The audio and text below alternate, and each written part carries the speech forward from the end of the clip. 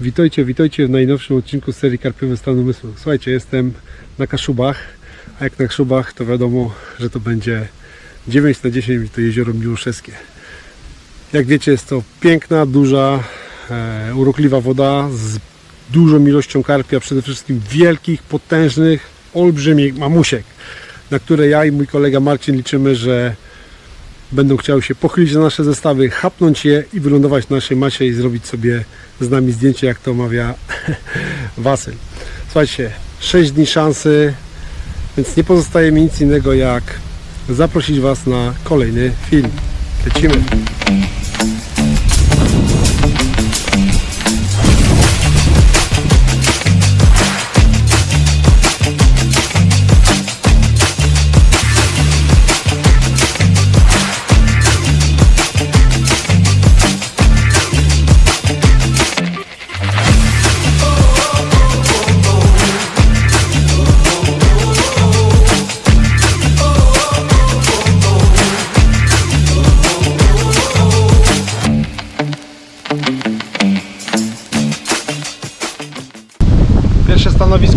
Łapiemy, to są, to jest pod taką właśnie obaloną brzozą. To jest niedaleko Trzcin, bardzo charakterystyczne miejsce. Eee, Często tutaj fajne ryby wyjeżdżają, wiatr wieje w naszą stronę, tutaj właśnie w tą, w tą brzozę, więc liczę na to, że to ciepłe e, październikowe słońce, które ogrzewa tą wodę spowoduje to, że tu ryby zagoszczą i coś tu się pojawi. Także to będzie pierwsza miejscówka.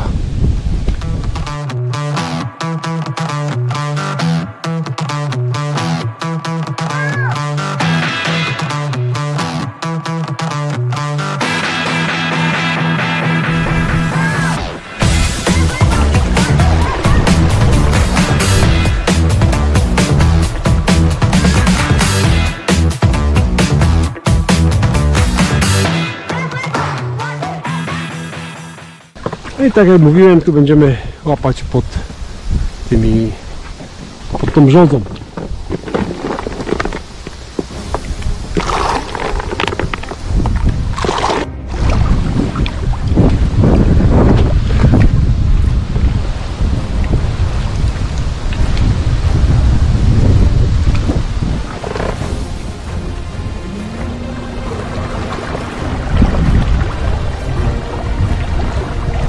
Teraz szybko wyrównam sobie wiosła, tylko schowam i, i do brzegu.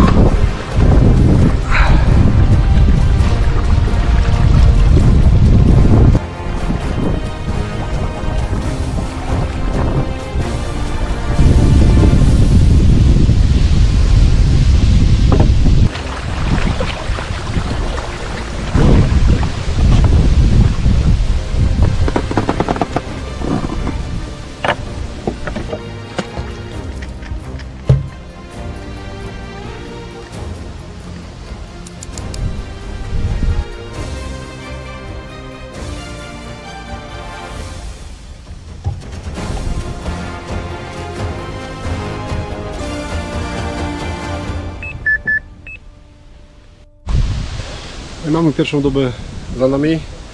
Generalnie szału nie ma, nic nie bierze na całym naszym brzegu.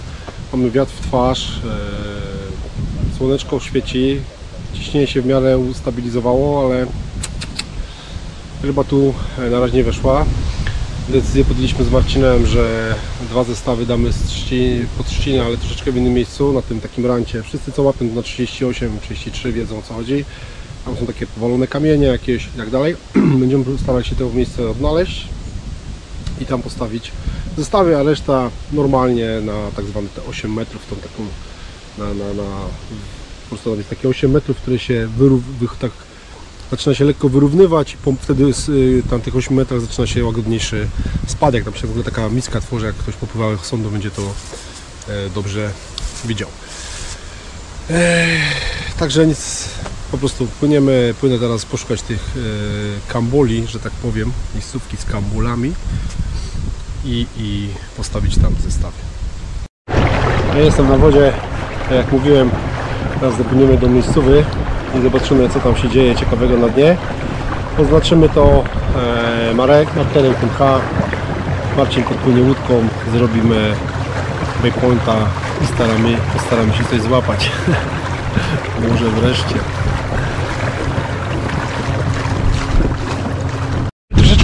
Ciężko tutaj znaleźć tą miejscówkę z tego względu, że strasznie wiatr wieje, ale staram się znaleźć tą półkę. Ale kurde wszystko wygląda tak samo tak jakby po prostu dookoła wszędzie tak samo ta woda spadała 3 metry wszędzie jest to samo nie ma jakichś takich szczególnych wszystko po prostu równo opada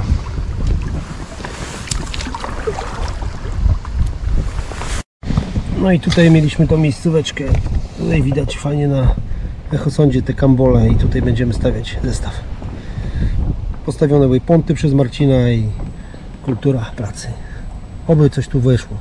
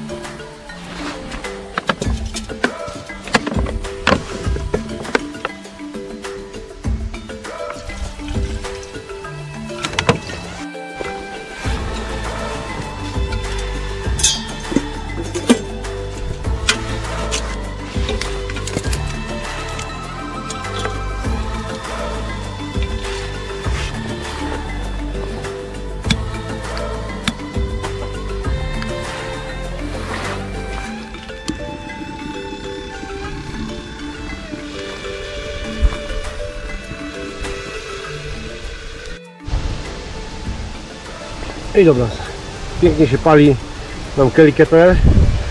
Za chwileczkę tutaj zrobię pastę e, z Alerakła.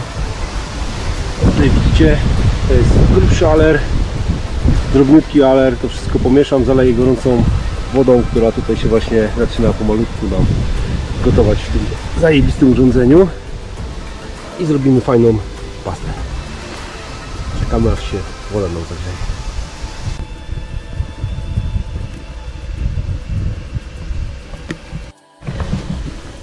Woda pomału zaczyna wrzeć.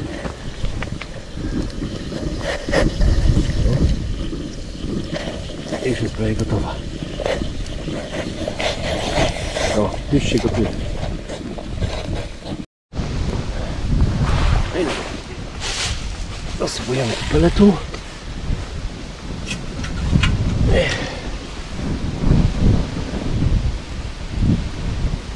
I mamy zajebistą pasę. Widzenia.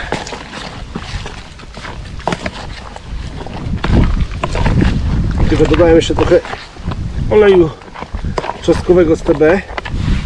Też super sprawa.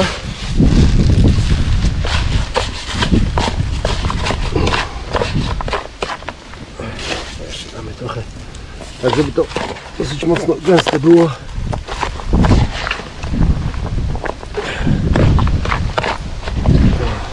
I to tak sobie musi postać z godzinę, żeby to się fajnie rozpuściło.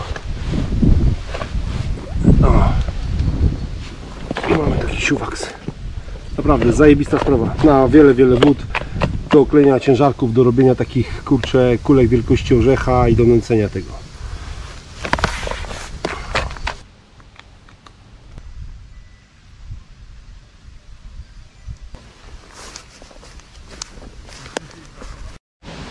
Dobra, teraz po zalaniu gorącej wody to już wystygło, jest takie lekko ciepłe. Już można taką pastę e, zacząć wykorzystywać do głębszych celów, czyli na przykład robić z tego takie malutkie kulki. I to jeszcze jak zostało dolane olejem chili i garlikiem. W tym wypadku fajnie potem pracuje, zaczyna to się rozpierdzielać i zaczyna być e, iść w wodzie mura e, zapachowa, nie?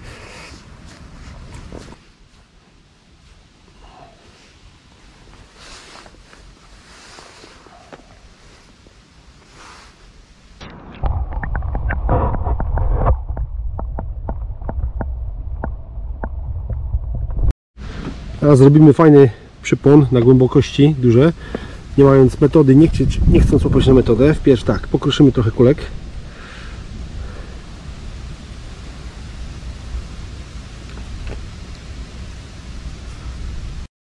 Teraz mając kombi riga, weźmiemy kilka tych pokruszonych kulek. Wpierw trochę pasty. Włożymy pastę sobie na przypon. Krętlik w środek. Teraz trochę pokruszonych kulek, że jak się rozpuści zestaw to, żebyśmy mieli też jakieś kulki na dnie.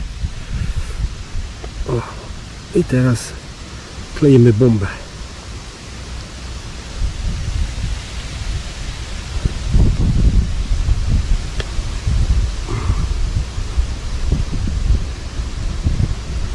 Damy jeszcze trochę tu z góry pasty te kulki ładnie były zaklejone.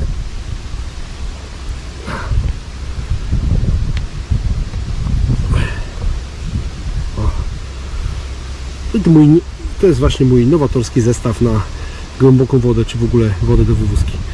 Zobaczcie, to wszystko właśnie ładnie będzie pracowało, tak jak pokazałem Wam wcześniej na filmie. Z boku przypłon, rozpuści się pelet, pokuszone kulki. Mam nadzieję, że to zagra. Zestaw wywieziemy tutaj kule z peletu, które wcześniej robiłem. Oczywiście nowatorską konstrukcję przyponów z metodą bez metody. Aler drobny, aler gruby i kule e, Super Fidy Salty Crayfish serii Pure Krakowy. I to pojedzie nam na 8, 8 metrów i na e, te kamienie.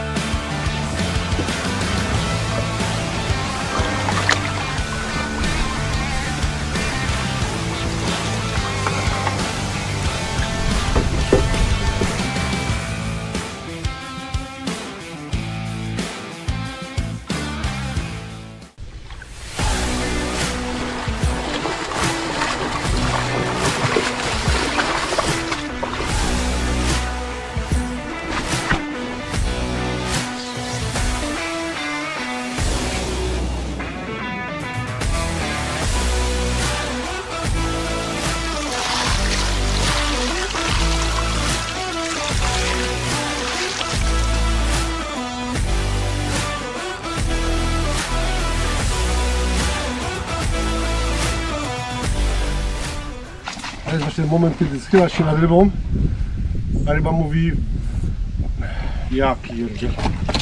Kolejny test, kurwa, ten ciuszków, nie?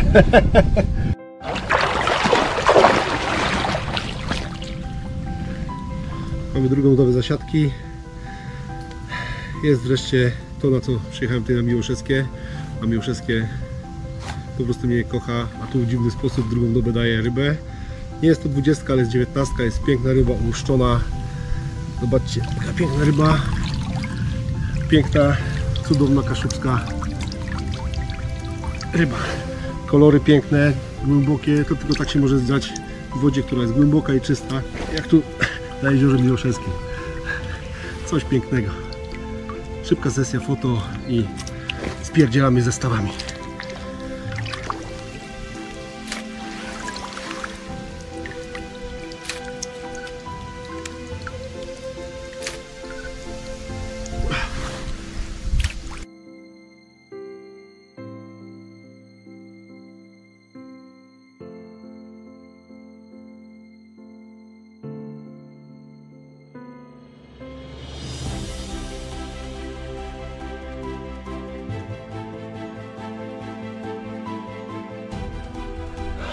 No i tak, mamy piąty dzień zasiadki. Generalnie jest pizda blada, można tak powiedzieć.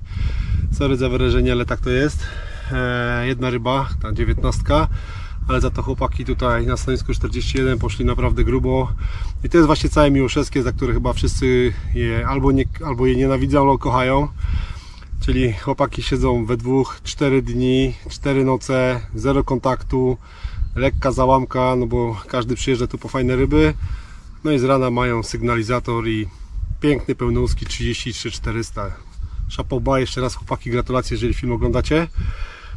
A my z Marcinem co? A my z Marcinem dalej próbujemy oszukać rzeczywistość. E, Na 8 metrach e, tak, tak zwane to takie miejscówka, o mówiliśmy, mówiłem wcześniej, że to, to jest takie bankowe na 38, zresztą stamtąd ryba jest.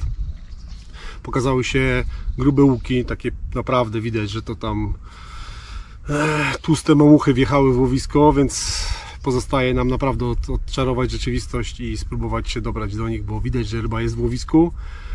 E, Trzymamy się teraz troszeczkę. my- Generalnie taktyka jest ta sama, jedynie co może przynęty spróbuję zmienić, zmniejszyć i zostawię łowiska już e, kije do samego końca łapania, czyli będą leżały cały piątek, całą sobotę, dwie noce i w niedzielę, jeżeli nie będzie brania, dopiero je zwinę, nie dotykam kij, bo to widzę, że to większego sensu nie ma. Dam może troszeczkę więcej e, peletu, peletu do łódki i tyle. Działamy. Jeśli chodzi o przypłony, to tym razem pójdzie wszystko na sztywniaki łamane. Mam duże haki. E, w tym wypadku będzie to jest ten Longshank Nesha. A drugi łamaniec będzie na haku Avida e, Shock Armarok Shock, mocny haczyk, jedynka. Także w ten sposób pójdą e, zestawy z malutkim e, bałwankiem. Może chcą na drobno.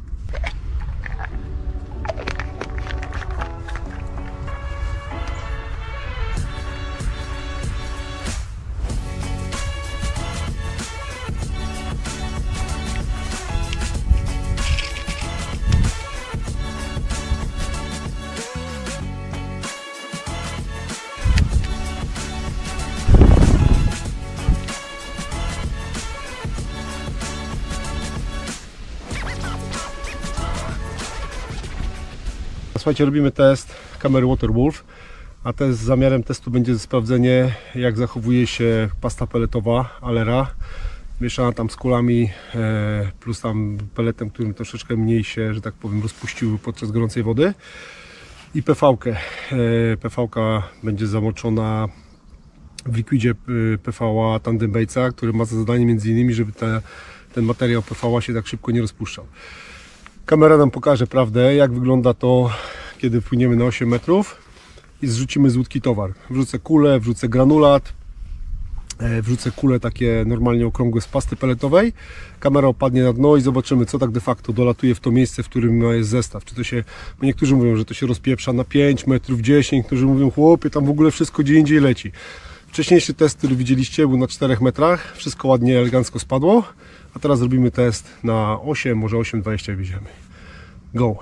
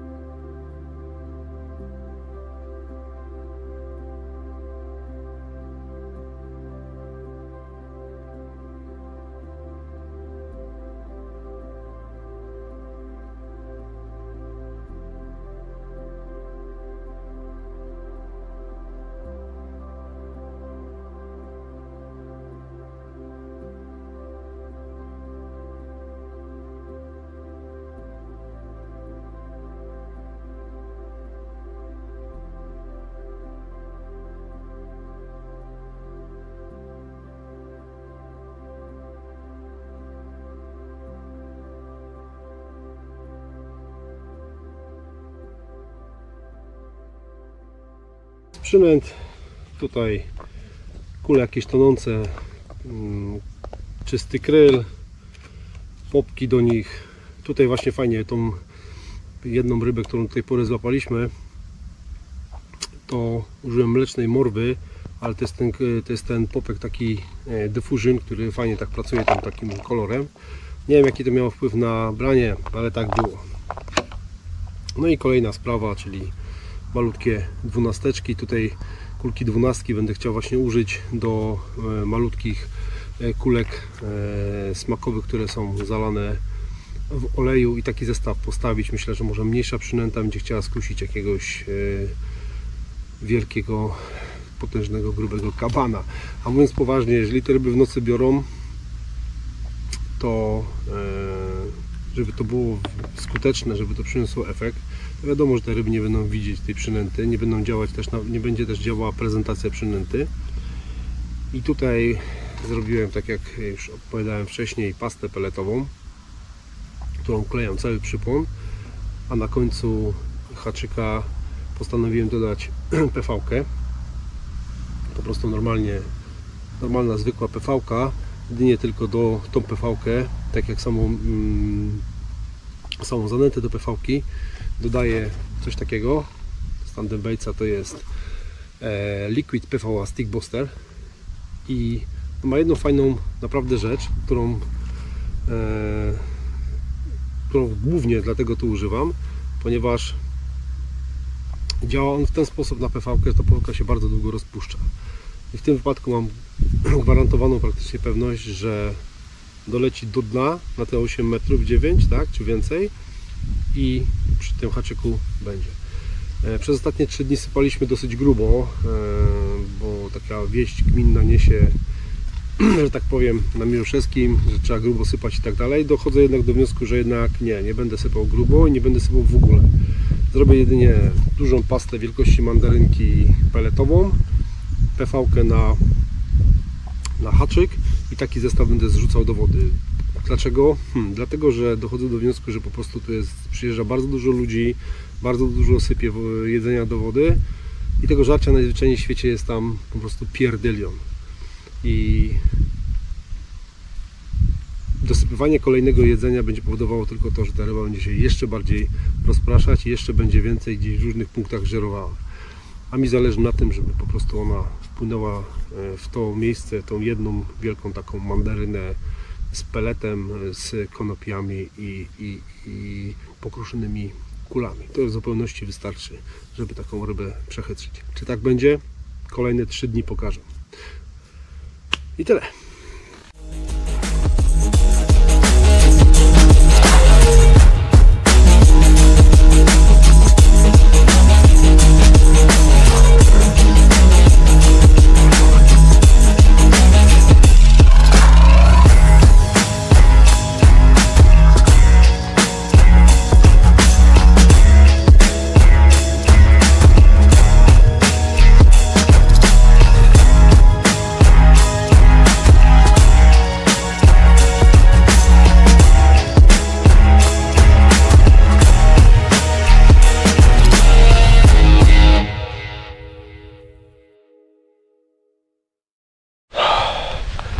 Słuchajcie, no już jest koniec zasiadki. Właśnie się zwijam w totalnym deszczu.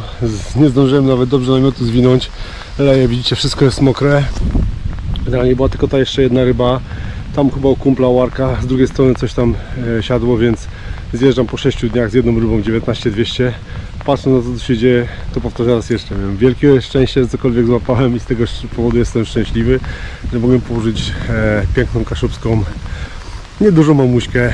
E, na matę. To nawet nie mamuśka, tylko fajna, fajna rybka, ale ją położyłem. Szczęśliwy jestem. Wracam przemoczony do suchej nitki i baję do następnego odcinka Karpiowy Stan Umysłu.